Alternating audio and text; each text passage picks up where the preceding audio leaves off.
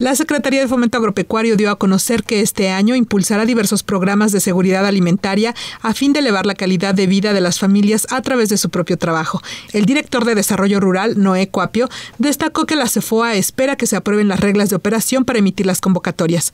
Uno de los objetivos y uno de, los, de las situaciones que nos maneja estos programas y sobre todo con la indicación del gobernador Marco Antonio Mena es precisamente que estos programas vayan enfocados a seguridad alimentaria, a incrementar o elevar la calidad de vida a través de un valor agregado de los programas.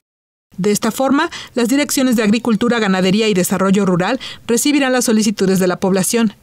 Los programas prácticamente van en función de seguridad alimentaria para producción primaria y para dar valor agregado a los proyectos o a la producción que tenga cada uno de los productores o pequeños productores. Eh, hay programas que van enfocados a ejidatarios, programas que van enfocados específicamente a mujeres y programas que van enfocados específicamente a jóvenes. La CEFOA operará por segundo año consecutivo el programa de financiamiento de microempresas para mujeres y jóvenes rurales, el cual ha tenido buena aceptación. Para Ahora Noticias, Lorena Temolcin.